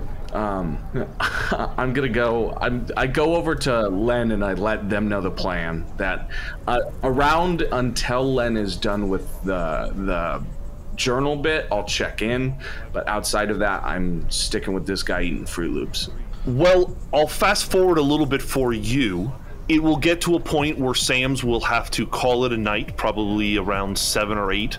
Um, he does get to the point where he is able to connect to the drive. He can tell that there's information, and he is just beginning the process of kind of getting it uh, so that it is visible, readable, usable. Uh, but he has to take a break by by that point to to sleep. Ice you take your time trying to decipher this code, and it's not particularly difficult. You know, rel- you, you you've had a, a, a cipher in your time. It sounds like you like using puzzles, working on puzzles, and you can tell that it's not particularly complicated. Um, but it does take several hours to piece together what's going on between the cipher and the burnt pages. There's a lot of missing information, but I will allow allow you for the six hours of work to ask six questions, and I will tell you what the answer is, or at least what is available in the book. What is your first question? Do any of these notes directly link to hypergeometry? The notes do not appear to have any hypergeometry written in them, whether it be calculations or turns of phrases. You are able to decipher the same phrase that was said on the ground Kali Ghati, death awakens the sleeper. But Morales does seem to be onto something. He is, though he doesn't speak about specific hypergeometry, he believes there is something special about this place that might infer hypergeometry. Is there any um any clue as to what or who the sleeper is?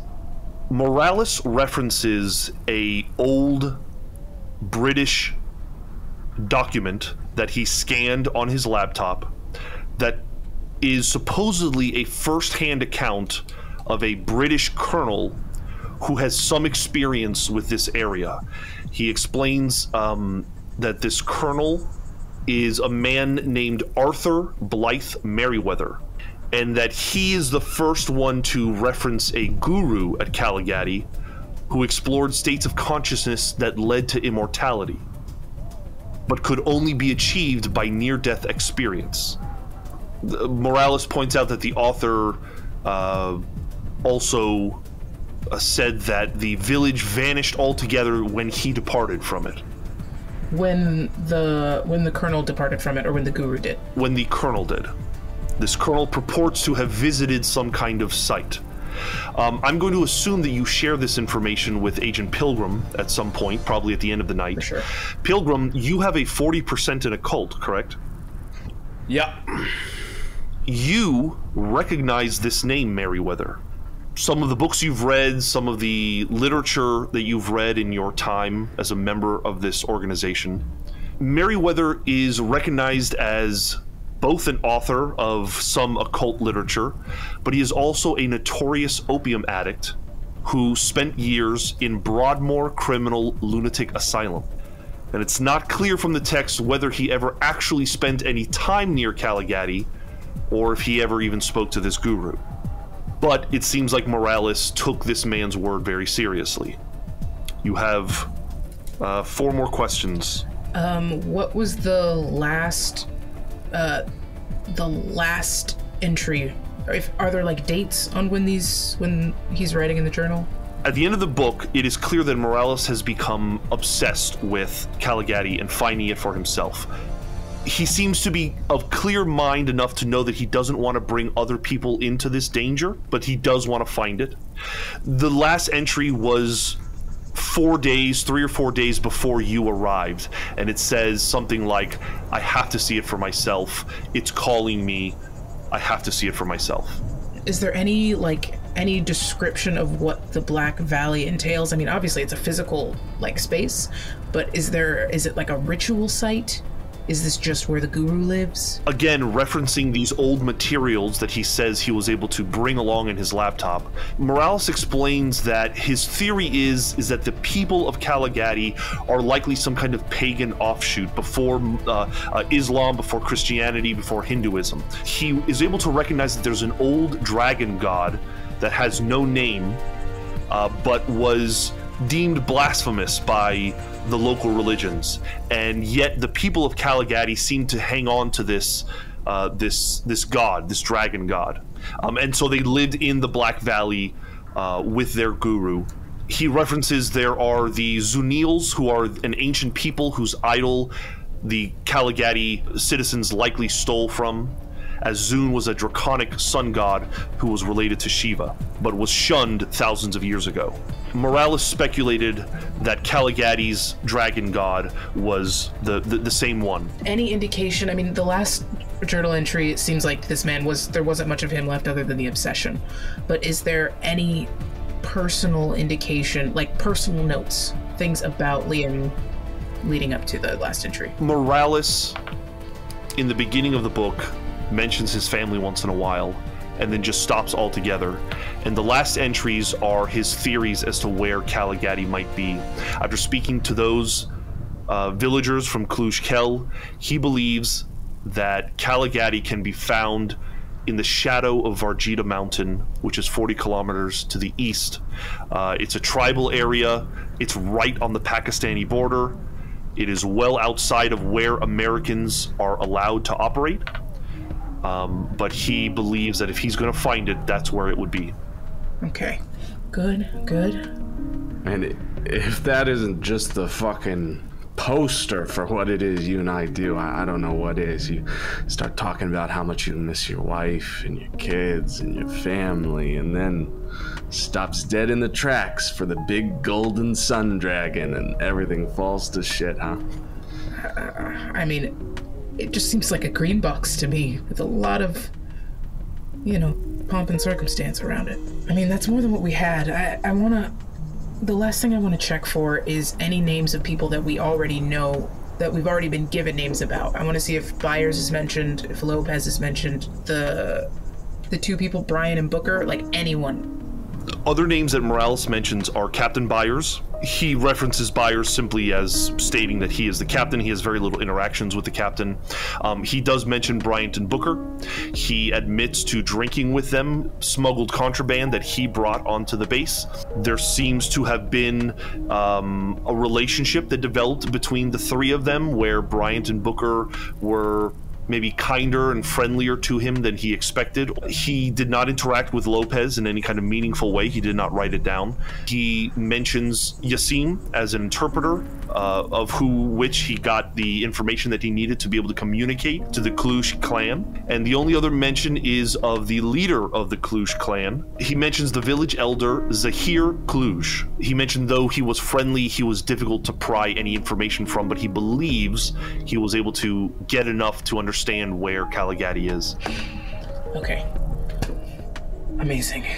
It's 9 p.m. when you finally put the book down and your eyes are sore from just constantly staring. The night is just as hot and warm as the day, maybe a couple of degrees less, but unless you want to keep powering through, it's probably time for a break. You got good shit here, Len. I, I mean, you did incredible work. I, I mean, the puzzles paid off. It was a good time. I mean, incredibly foreboding, but a good time.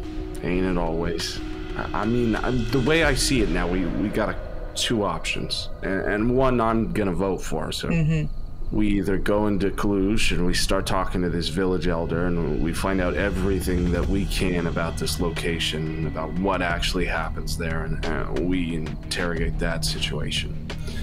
Or we Occam's razor this fucker and realize that he went out there to this location that he marks in that journal and that if he went anywhere, if he's anything like you and me, he's down there in the Black Valley now. Yeah. I mean, it's just whether we want to be more prepared when we knock on the door.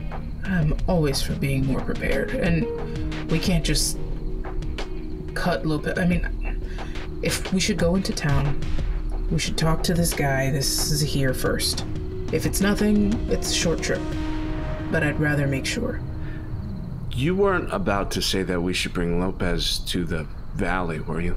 No, it's just they. I don't think anyone's really given them a proper chance. I mean, you saw the way that Byers was talking to them, right? They just Yeah, yeah. very clearly all they do is fuck up, but it's also because people only think they're gonna fuck up. You, you want to bring them in on this? You know how that ends. I, I mean, you look at this fucker. This fucker's just like us. And he starts off whining and crying about his little fucking wife and his family back home on the island. And oh no. And then he turns into chugging Listerine and smearing his own fucking blood in the dirt and praying to dark gods like all of them fucking do. If we go around giving out fucking tickets to the show, it really only means they're either gonna end up exactly like us or they're gonna get us killed. I know that. I know that. It. It just seems like they just need a somebody to fucking. I don't know. I don't know. Like you, I understand. This is more dangerous, and even if they were to be incredibly helpful, which I know they would be if we just let them come, it would be. It would be more dangerous. It wouldn't be worth it. And you know what? If they wanna fucking die, they can fucking die themselves. If they wanna take that extra step after us, they can do so, but they're gonna do it 50 feet behind, not alongside. Yeah. The two of you wind down for the evening. Do you do anything in particular before you go to sleep?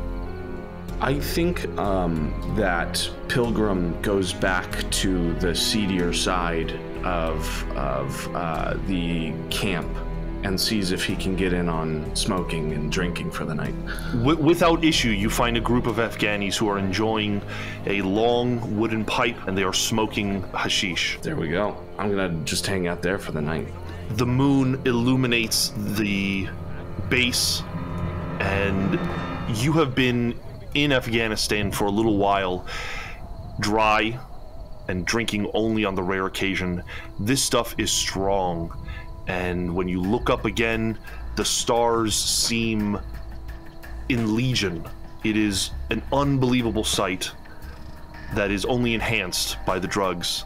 And you realize in your inebriated state just how far away you are from society, how in the middle of nowhere you are, and how really you could do whatever you wanted out here as long as nobody as long as nobody caught it.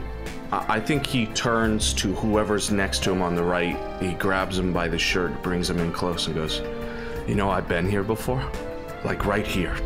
Talking to you. My friend, my friend, he's the, clearly the man doesn't quite know how to respond to what you're saying and is kind of like tapping you. I fucking know you.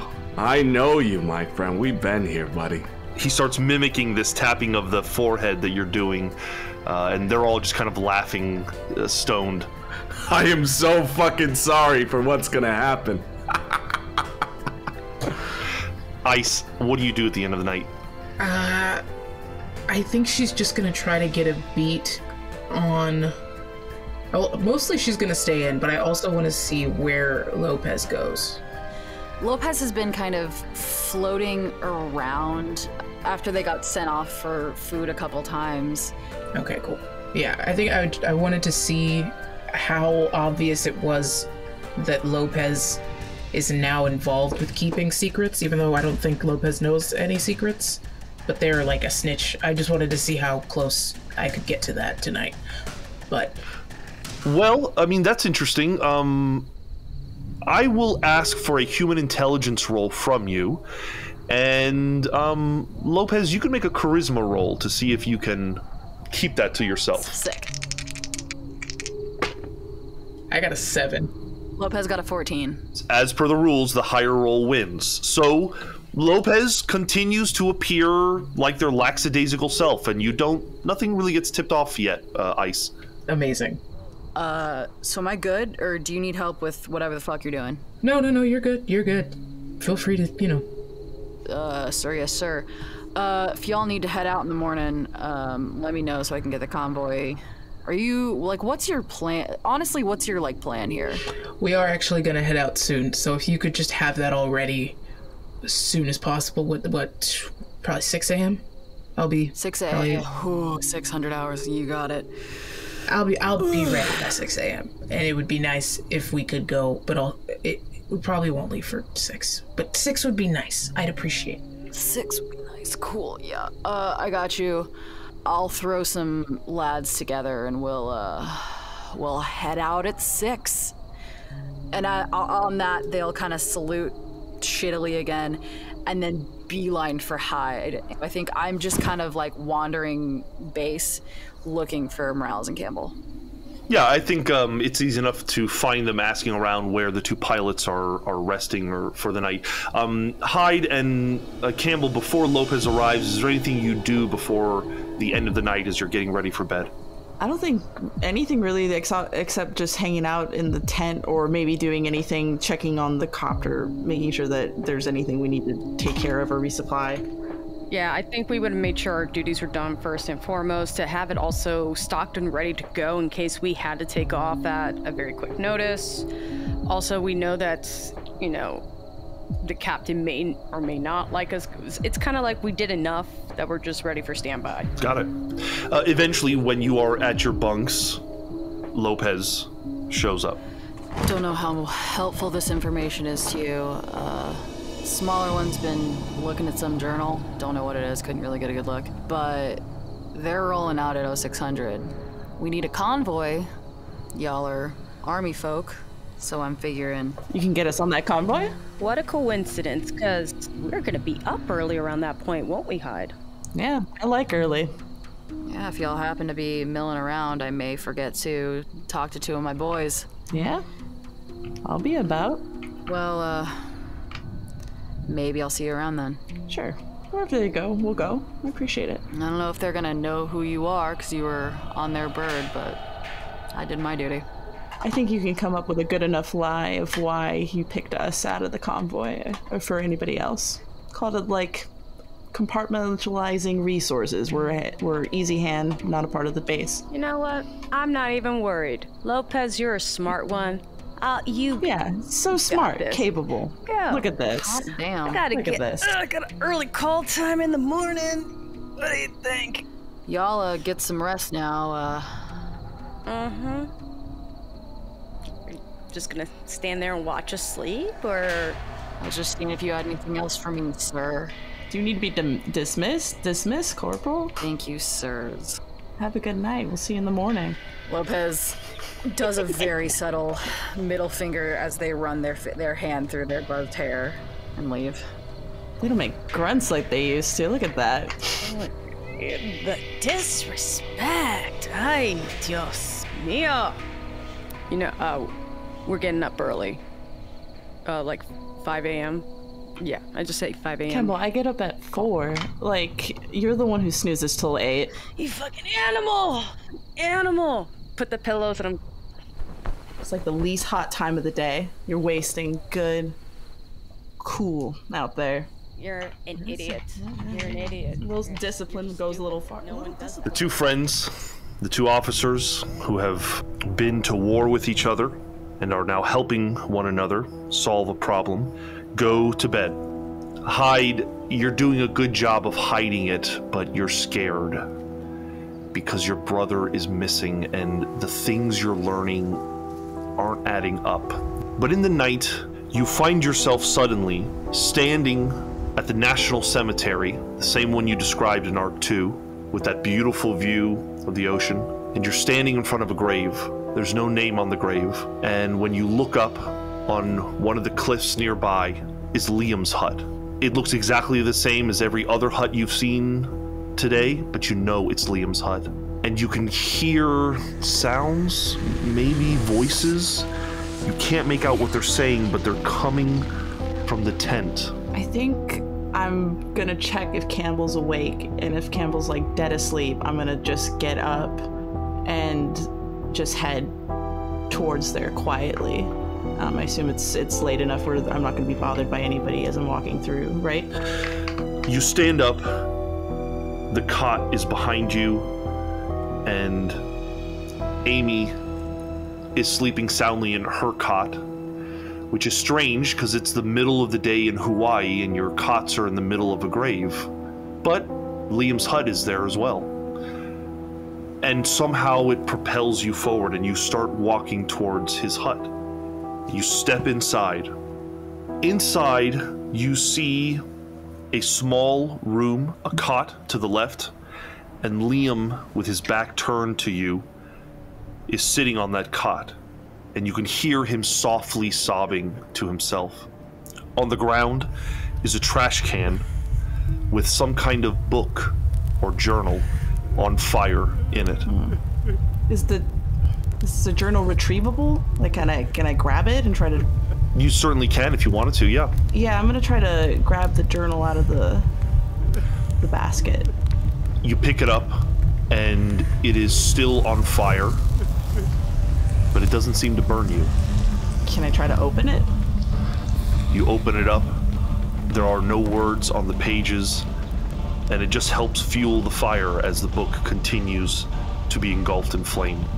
You're looking for answers, and you look up at Liam, and you realize that his arms were hidden from you, and you look and you see that there is blood. More than that, though, there is flesh carved in his forearm. On his left, it says Kali Ghati. On the right forearm, Death awakens sleeper. And he shows you his forearms, kind of opening them up to you. And you look at his eyes, and he has the saddest, most regrettable eyes looking at you. He opens his mouth to speak, but he doesn't he doesn't speak. He sings. He begins to sing a beautiful song that sounds like Arabic. Just as you're taking this in, you snap awake. You are in your tent, and you realize the song that you are hearing is the morning call to prayer by the Afghan National Army, and it is the next day. I think if it's early enough and I have enough time, um, I'm gonna leave. Uh, I'm gonna leave and head towards Liam's tent really quick. I think you're able to do that. In these wee early mornings, there is only patrol and a few other folks out, and you are able to find the tent. Yeah, I'm just gonna. I'm gonna go in there and I'm gonna stand where he was standing. Um, where I remember it, and I don't know, just look around. I don't know if there's anything else here. I mean, I can obviously see it's been turned over, and I know that the the other agents have been in here, but um, I don't know. Something about standing here just seems like the thing to do. And you do so. And you wish that you can see something else that they're not seeing, but you can't help but also just feel the enormous vacuum of Liam's absence. Nothing seems out of place in the sense that you maybe they didn't notice something. It reeks of bleach in here. And he has no personal effects here. Looking in the space, you do not see anything. Where the fuck would you go? Maybe we'll find out where he went the next time we play. God damn it. No, why would You know what? I, I, I forgot to ask one last thing. Can you make a sanity check for me? Uh, Oh, Audrey? there we we go. fucked up. We fucked up. That sucks. That sucks. Sanity. Ooh, that's a success with a 49 out of 50. You you do not lose any sanity. Ah, Surge?